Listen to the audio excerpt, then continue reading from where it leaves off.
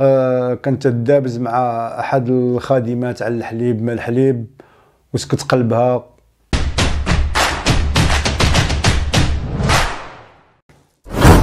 السلام عليكم ورحمة الله تعالى وبركاته. إخواني إخواتي مرحبا بكم في قصة جديدة. قصتنا اليوم غتكون على البخل. وأعوذ بالله من الإنسان البخيل. شحال شفنا الناس بخلاء؟ يعني تيحرموا ولادهم وتيحرموا ناسهم. وتيحرموا راسهم وفي التالي كيمشيو كيخليو داك الشيء موراهم فلهذا اليوم قصنا على واحد السيدة معروفة بثرائها يعني الغنيه على وجه الأرض في ذاك الوقت. وكذلك دخلت موسوعة جينيس للأرقام القياسية. ولكن ماشي لأنها غنية ولكن لأنها بخيلة أبخل مراه على وجه الأرض. وبالبخل ديال هاد المرأة تسببت في القطع ديال الرجل أحد أولادها. كان مرض يعني و... لأنها كانت تتقلب على يعني علاج مجاني يعني بيليكي ما تخلص والو. فلهذا تسببت في قطع الرجل ديال أحد أولادها. وكيتقال بأنها كذلك يعني ما كانت تخسر على راسها والو يعني غير التجارة وجمع المال. ولهذا سموها ساحرة شارع وول ستريت جرين تولدت 1834 بنيو بيدفورد وكانت هي الابنة الوحيدة اللي عند الأب ديالها يعني غير هي بوحديتها. وباها كان يعني ولا العائلة ديالها كان معروف عليهم الثراء. كذلك كان عندهم أسطول ديال صيد الحيتان يعني la baleine فالفيس أوركا يعني داك الحوت الكبير. يعني كان كانت عائلة في وقتها يعني يعني من أغنياء الناس اللي ولا من أغنياء العائلات اللي في العالم. وهايتي لما كان عندها يعني سنتين داها جدها يعني رباها عنده لأن الأم ديالها كانت مريضة. فلهذا تربات هايتي عند الجد ديالها. ولما دارت يعني ست سنين فتحوا لها أول حساب بنكي ديالها لأنها من صغرها وهي مهووسة بجمع المال. وكذلك يعني كيف قلت العائلة ديالها غنية والناس ديال التجارة والاقتصاد كانت تقرا لجدها يعني السندات المالية اللي كيكونوا عنده. وكذلك كتقرا عليه الجرائد الاقتصادية. يعني البنت من صغرها وهي داخلة في البيزنيس ومنين دارت 13 عام كانت خدامة كمحاسبة مالية للعائلة. يعني بنت 13 عام كدير محاسبة للعائلة. إلى حتى دارت 30 عام هذيك الوقت توفى الأب ديالها آه يعني خلى لها ثروة ولا خلى لها إرث ما يعادل 7 الملايين 7 الملايين ونصف. ما يعادل في هذا الوقت ديالنا 107 مليون دولار. يعني ذاك الوقت كان 7 7 مليون ونص. هاد الوقت ديالنا كتعادل 107 مليون دولار. يعني هاد الوقت و107 مليون دولار راها ثروة بالفعل. ولما دارت 33 عام يعني عاد تزوجات لأنها كانت ديما كترفض الزواج كتقول بأن الرجال طامعين لها في الثروة ديالها. المهم لما دارت 33 عام تزوجات إدوارد هنري جرين. وبالبخل ديال هاد المرأة يعني خلاتو يسني على واحد الوثيقة اللي ما عنده حق في الإرث فيها. يعني إلا توفات ما يوردش فيها. شوفوا هنا بدا البخل. المهم ولدت معها جوج يعني جوج أطفال ولد وبنت. ويعني هاد العائلة كانت مرته معها إلا حتى تركها راجلها. المهم ما كانتش تغسل يديها.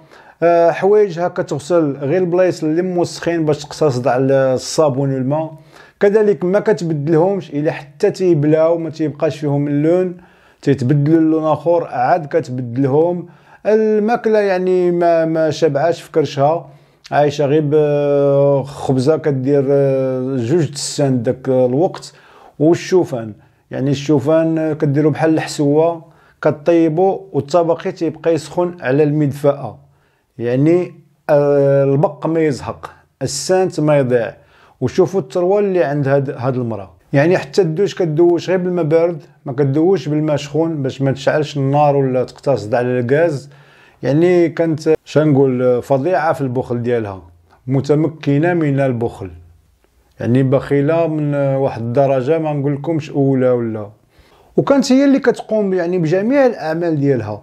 ما عندها لا سكرتير ولا مساعد ولا هم يحزنون بوحديتها المرأة. وكان عندها مكتب يعني في وسط واحد البنكه ماشي مكتب ديالها خاص. عايشه يعني في واحد المكتب يعني الروينة في ذاك المكتب الغراق والشوانط والوثائق الملفات يعني الله فين كتجلس هي.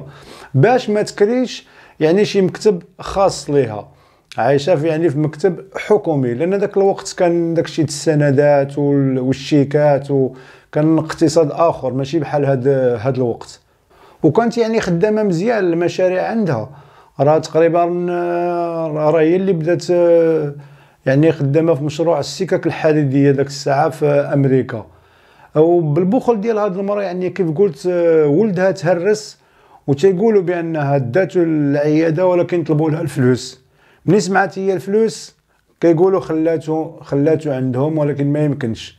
آه ألور هادي اذا هادي داتو مع الدار بقات يعني حالته كتدهور رجلو كتدهور داك الهرس ما مببراش فلهذا اضطروا باش يقطعوا له رجليه. هذا غير باش مو ما تخلصش عليه. وكذلك بالبخل هاد السيدة سمعت عمتها ماتت؟ وخلات يعني جوج المليون دولار للتبرعات الخيرية. شنو دارت آه، الساحرة؟ ناضت طعنات في هذيك الوصية وناضت صوبات زورات وصية واحدة أخرى وربحات بها الدعوة بأن الوصية هذاك المال يبقى لها وربحات الدعوة وتضاف جوج مليون دولار للثروة ديالها. شوفوا الفظاعه في البخل كي دايرة. المهم هايتي توفات في سن ال 81 سنة تيقولوا بسكتة قلبية آه، كانت تدابز مع أحد الخادمات على الحليب ما الحليب وسكت قلبها. سكت القلب ديالها وقيلات غير على الحليب. وشوفوا شحال الفلوس عندها خوتو شحال المال عندها يعني تشري مدينة. هذا راه شي تنهضروا عليه يعني راه في 1800 والصرف ولا 1000 بداية 1900 يعني راه وقت آخر. المهم كيف قلنا دخلت الموسوعه جينيس للأرقام القياسية العالمية على أساس أبخل مرأة في العالم وقيل ترى مازال محتفظة على ذاك الرقم القياسي لحد الساعة. المهم بقات الثروه ديالها أه هكاك وهاد المرأة يعني ما عاش حياتها عاش غير في الديور المكرفسين. يعني ما كانش ما كانت شارية لا دار لا والو. يعني كيف قلت كارية في ديور ما فيهم ما يتشاف. عاشت حياتها راه راجلها سمح فيها غير على داك البخل ديالها. والمهم ما تمتعات بحياتها ما يعني الطبلة ديالها ما عمرها بالمأكولات الشهية وما ألد وطاب من الخير. لا. الشوفان وخبيزات ديال جوج السانس كتعيش بها النهار كامل. المهم كيف كيقولوا فلوس آه، اللبان كياكلهم زعطوط. توفات هايتي على سن 81 سنة خلات ثروة من 100 حتى 200 مليون دولار. ما يعادل هذا الوقت. 3 المليار و8 يعني راه ثروة طائلة خلات. المهم شكون اللي يتمتع بهذا المال؟ هما أولادها. هو إدوارد روبنسون آه، جرين والابنة ديالها. آه هذا الابن ديالها اللي تقطعت له الرجل ديالو. يعني شبه لها في واحد الجهة وهو شطارتها في التجارة. يعني كان آه، تاجر شاطر كيف كيقولوا ولكن متع راسو ومتع ناسو وبنى لك جوج قصورة مع راسو والرحم الله. وأما البنت ديالها حتى هي تمتعات يعني في السفر والرحلات. ولما ماتت في سنة 1961 خلات باقي المال ديالها الأعمال الخيرية والرحم الله. فلهذا الإنسان إلى عنده ما يبخلش على أولاده وعلى ناسه والرحم الله. نطلب من الله استفدوا من هذه القصة وحتى القصة ولا الموضوع الجاي. أستودعكم الله والسلام عليكم.